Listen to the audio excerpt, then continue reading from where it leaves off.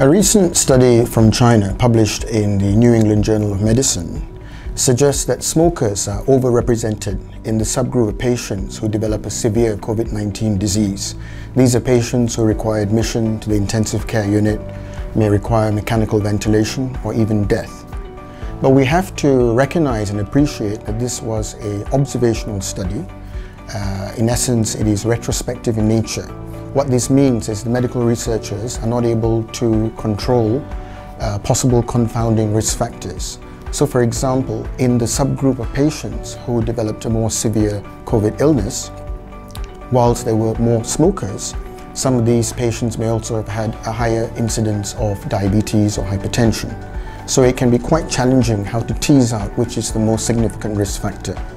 Having said that, uh, the preliminary analysis suggests that smokers probably do have an increased risk of uh, dying from a COVID illness. Well, the coronavirus, which causes the COVID-19 illness, is uh, a virus that seems to predominantly target our respiratory system. Uh, in the case of coronavirus, uh, scientists have established that the mechanism of entry into the human cell, the host cell, is through the angiotensin converting enzyme or ACE2 receptor. Now these receptors are located predominantly in the lining of our airways, what we call as the respiratory epithelium, or in certain cells within our lung tissue, the type 2 alveolar pneumocytes. These ACE2 receptors can also be found in the gut or intestine as well as in our kidneys. Um, there is also evidence that smoking causes a increased expression and an upregulation in these ACE2 receptors. So we can therefore make a logical assumption that for smokers there is not only an increased expression of these ACE2 receptors which will give more opportunity for the coronavirus to invade uh, into the human cells, but once they develop a COVID positive illness, they are also at greater risk of a more severe illness.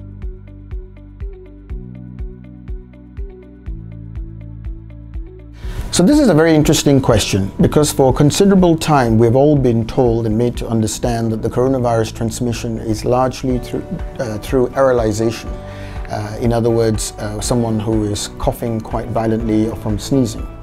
Uh, however, there is now emerging evidence, a recent study from Hong Kong, which suggests that there can also be airborne transmission.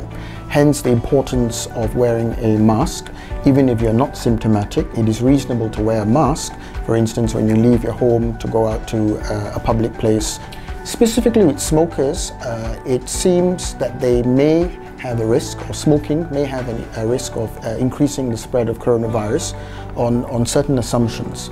Firstly, if we look at the habit of smoking, uh, it is a, uh, there's a repetitive frequent hand-to-mouth movements. So invariably smokers are more likely to touch their face. Also in terms of airborne transmission, when a smoker exhales and blows out the smoke, if that smoker were to be COVID positive, theoretically uh, there can be a lot of viral uh, aerolization and therefore airborne spread of the virus. Well, this ongoing COVID-19 pandemic is something that has dramatically impacted all our lives and I think it's quite a unprecedented time in terms of stress and anxiety as a consequence of the movement control order which is much needed. There have been restrictions, many people have to work from home, schooling has been disrupted and uh, in fact many have lost their livelihoods. So I think we all recognize it is a very stressful and anxious time. Having said that, it is also a opportunity to do things differently or better. It is a wonderful opportunity to uh, use this time to perhaps uh, diligently try to kick the habit.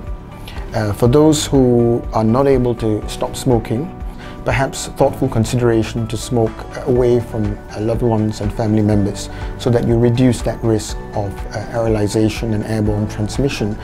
This is obviously for smokers who are COVID positive.